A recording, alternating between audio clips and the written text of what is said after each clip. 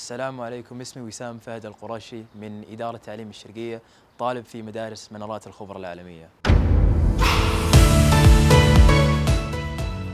أولا هذا توفيق من رب العالمين. والحمد لله على هذه الفرصة العظيمة. صراحة أشعر بالفرح الشديد والفخر أيضا. يعني أنا قدرت أوصل لهذه المرحلة مع زملائي اللي بديت معهم من بداية الصيف الماضي على المشاريع مع بعض في كاوست.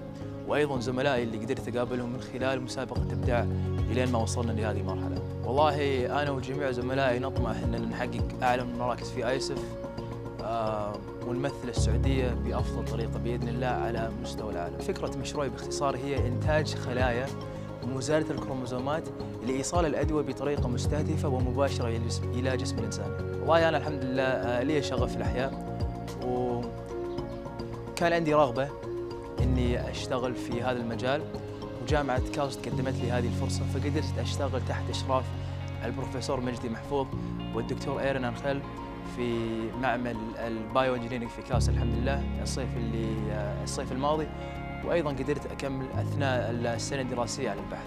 اولا نشكر رب العالمين على هذه الفرصة ثم أشكر أهلي على دعمهم المستمر خلال المشوار الطويل. طبعا أشكر إدارة كاوست على تنظيمهم وعلى تقديم هذه الفرصة لي أني أشتغل في معمل مثل معمل كاوست وأيضا على أشكر إدارة المدرسة على دعمي خلال السنة طبعا لأني اضطريت أني أرجع للمعمل أثناء السنة الدراسية لإكمال الشغل وإجراءات التجارب وصولا لهذه المرحلة توفيق من رب العالمين. المشاريع كانت ممتازة جدا في المعرض النهائي. وتفاجأت الصراحة بعدم فوز الكثير من زملائي أرى أنهم كانوا أفضل مني في التقديم وأيضا في في الخلفية العلمية فأتمنى التوفيق لهم كلهم وهذه في نهاية اليوم تجربة الجميع يستفيد منها سواء تأهلوا لآيسف أو ما تأهلوا.